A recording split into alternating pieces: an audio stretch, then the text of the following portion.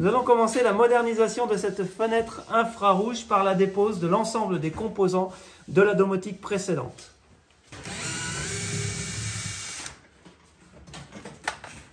Voici donc le moteur déposé. On peut laisser la vis en place.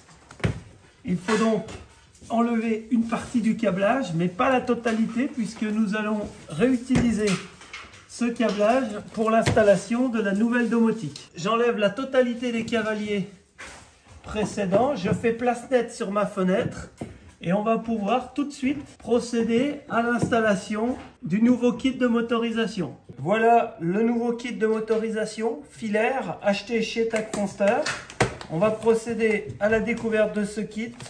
Vous avez la notice, je vous invite vraiment à la lire, même si vous en avez déjà installé.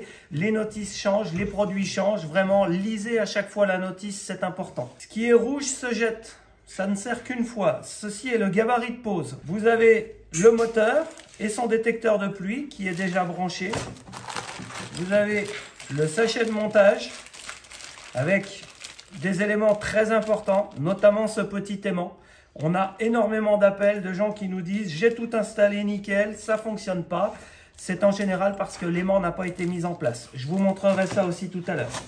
Vous avez dans la petite boîte à l'autre bout la nouvelle télécommande radio en fréquence IO.